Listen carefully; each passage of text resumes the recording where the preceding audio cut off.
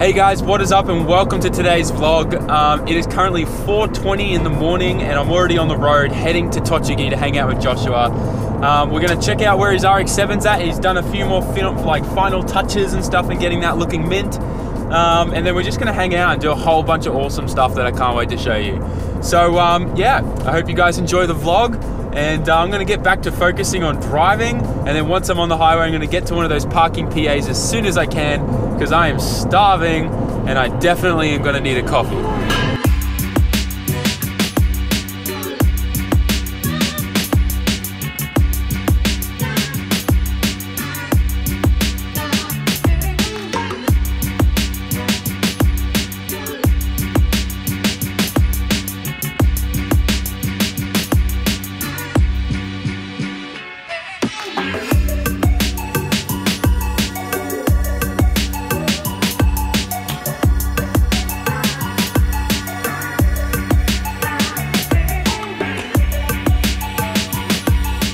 All right, guys, so I've just gotten to Joshua's place and uh, we were talking for a little bit, but what's really funny is there was a little bit of a miscommunication due to a language barrier issue, um, which is totally kind of normal. Uh, Joshua thought we were talking about Thursday, but we were saying Tuesday, and obviously I'm here Tuesday, um, but he was thinking Thursday, so his schedule's a little bit messed up and it's a bit different today, so we can't go to N style today. His RX-7, uh, he wants to have that finished and ready to then take and show them as well. So we're gonna do that probably next week now. Um, but today we've still got some awesome content planned that we can still do, which is going to all the really cool junkyards around the area and show you guys some of the old cars that are sitting there and some of the sad things that are happening to them because they're just sitting there rusting away, um, which is really interesting. Plus there's a couple workshops and car yards and other things like that we'll look at. Um, but otherwise I'm going to give you guys a quick walk around what the RX-7 looks like right now. Uh, maybe the um, the 350Z as well because obviously it's light now and previous video it was nighttime when I got the beauty shots. Um, so we'll do a quick walk around of that and then uh, we'll jump for the car and we'll head out. Okay, so this is where the 350Z sits at currently. Um, I'm pretty sure Joshua is pretty much complete with the body kit and how it's finished and looking. Uh, the only thing that he really needs to work on now is um, he uh, accidentally ordered the wrong offset from work for the VS uh, wheels and uh, he's had to send them back and get the right one sent out. That's why the rear has them on but the front doesn't. Um, and it's got these kind of like generic ones that um, I'm not sure what brand these are, but um, yeah, he doesn't like those wheels, so obviously he's waiting for the real ones to come. But yeah, car looks flipping awesome.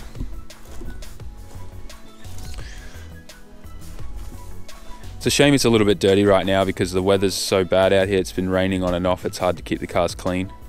But that rear end is beautiful. And then obviously the RX-7 looks amazing with its new work VS wheels as well. I'm pretty sure the model of the wheels, it's either VSSS's or VSXX. I don't know. Someone who knows their wheels really, really well, tell me what wheels these are because um, there's so many different wheel models out there. I get confused all the time with the wheel names, especially the work ones. Um, these look awesome. Once again, I think these are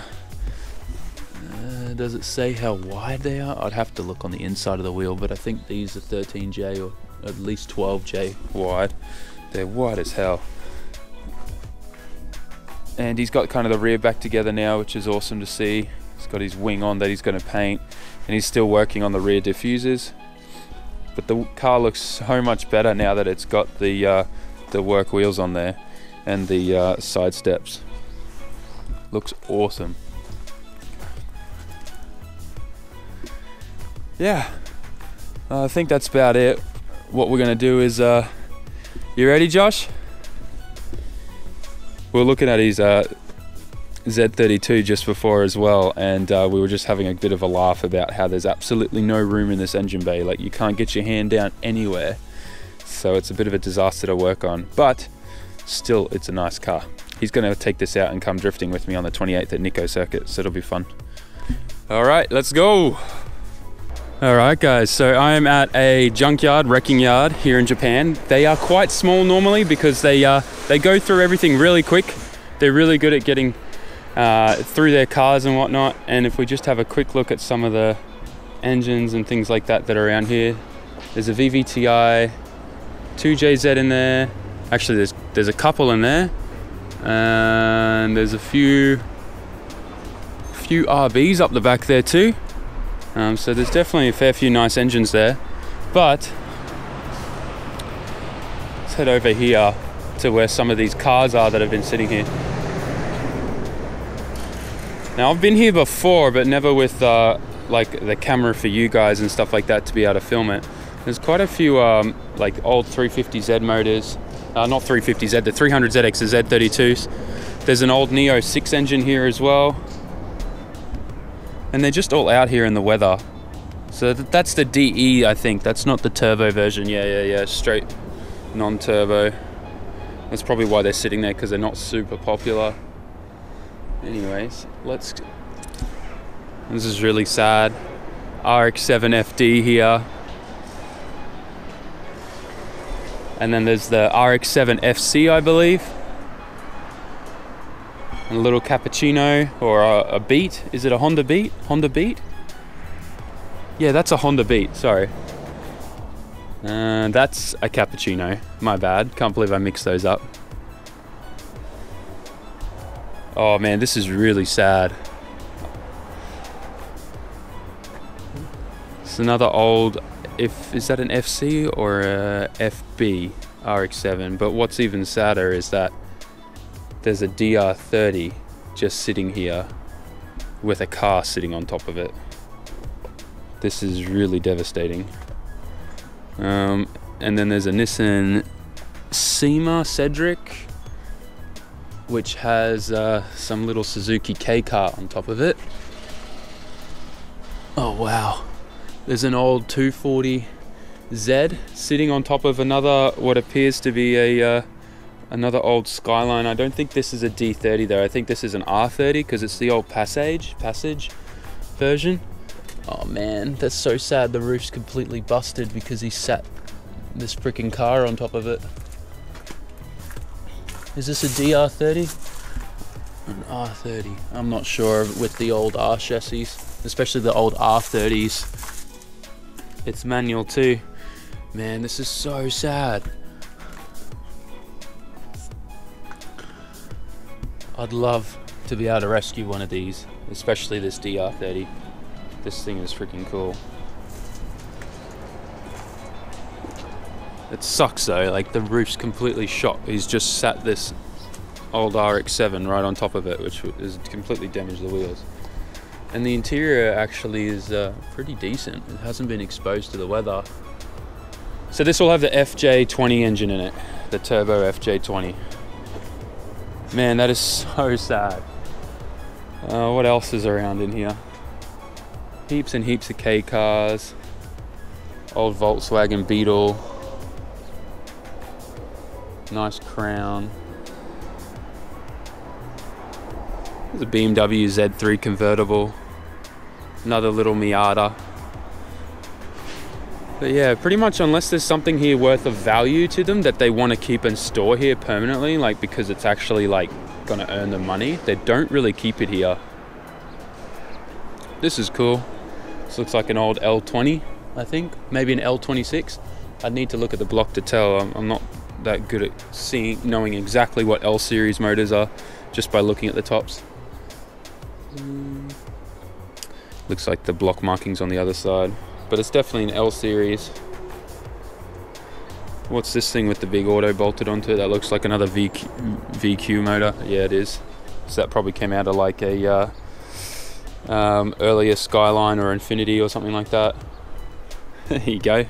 Little rotary engine there. What is that? It's uh, double rotary. Looks like maybe that's a 13B. Tell me if I'm wrong, guys. And uh, I don't know. I don't know my rotary engines, so. But it's so small, hey, like this is a gearbox bell housing and the engine's pretty much almost the same diameter of that. It's awesome. Yeah, it's pretty cool. I love going to junkyards here. You always find like such cool things and if I had a whole bunch of money, I'd definitely buy a lot of stuff and do stuff with it, but just don't have the room here in Japan. You don't get like heaps of space at your house for projects and things like that, which really sucks. There's an all-wheel drive transmission down there, which is bolted to the back of an RB with a turbo. So that's a uh, that's a single turbo. So that must have came out of a one of the old um, GTS 4s. It's an RB25 with an all-wheel drive gearbox on it. So yeah, that's kind of cool. See, this is this is what I'm talking about, and this is what sucks. This is an old VG30 twin turbo, and the pipe here, the intake pipe to the turbo, is completely full of water, and it's all green in there. So I, I really don't know why they just keep these out in the weather like this to uh, deteriorate like that, because that motor would make someone very happy somewhere in the world. But anyways, it is what it is. It's a pretty cool junkyard. There's a few half cuts and stuff like that around at the back here too that I'm not entirely sure what they're using them for. A lot of European stuff too. They're really popular cars in Japan, all the European stuff. it's always funny seeing a, a, like a front cut. Look at this little mini. Yeah, Mercedes front cut there as well. Alright, well I think I'm going to get out of these guys' hair. I think they're a bit nervous that I'm here filming. I did check with them first before I did obviously, but uh, they were still a little bit weary. Anyways, I'll leave them to it and uh, I'm to jump back in the car and head off. So obviously going through a graveyard full of classic JDM cars that are dying and rotting away is super depressing. So how about I cheer you guys up with some awesome kind of like drifting cars in a workshop. We're here at, I think it's pronounced Koguchi Power, which is a workshop literally just down the road from the junkyard. And uh, they build some pretty cool drift cars here. Let's take a look. All right, so this is, I guess, the main workshop, and uh, they've got like FD kind of level uh, cages that they're building in these S chassis here. And there's a really nice 180SX uh, S chassis that they're building there, which looks awesome. But uh, this is their rear car park, which I guess is like all their cars that they've been using over the years. the S14 looks like an old Mistral or something. Um, but this place looks awesome.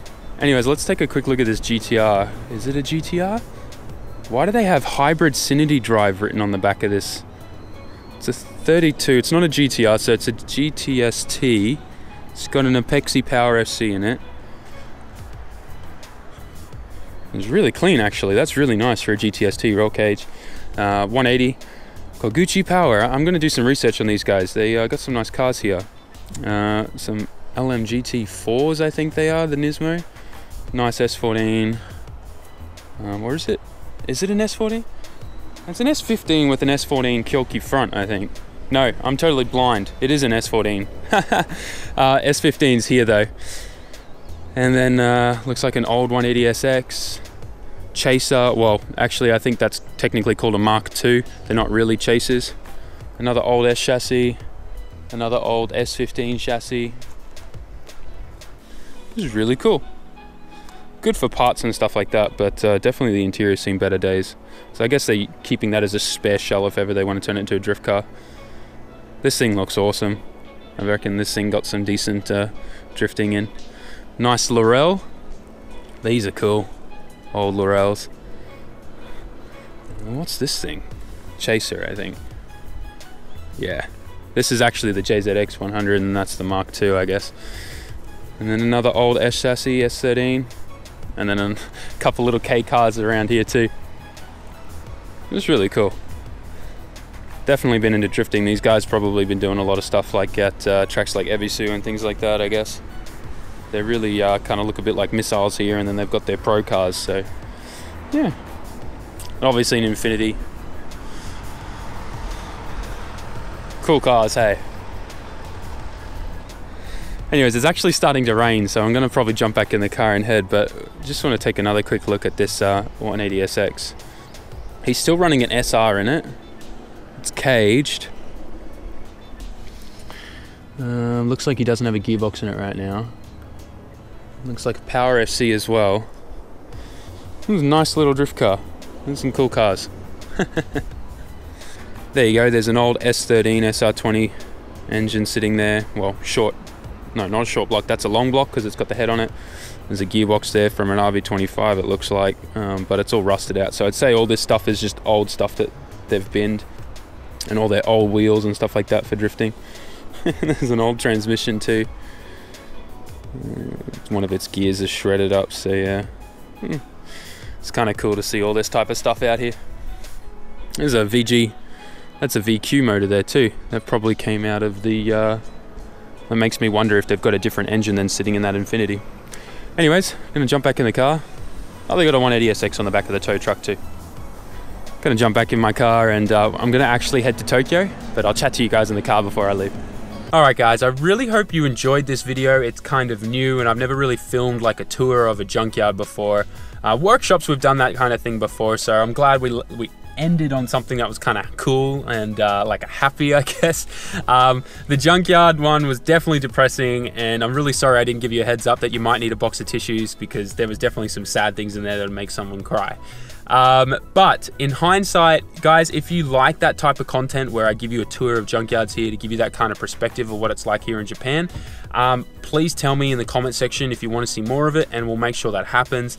Next time I'm going to be out here in Tochigi, um, obviously we'll make sure that me and Joshua don't get our days mixed up so that, um, you know, we can both go and do all the things that we plan to do. There's so many more junkyards here, uh, car wreckers and workshops to give you guys tours of. So we will do that if you guys want to see more junkyard stuff. Um, but uh, as for N Style, we're going to do that next week. I'm going to meet him there actually because N Style's in Saitama, which is just on the other side of Tokyo, which is much closer to my house. So we're both going to meet there and we'll give you a tour there as well.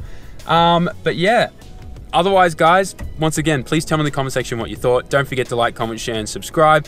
And I'll catch you on the next video. Ja mata ne.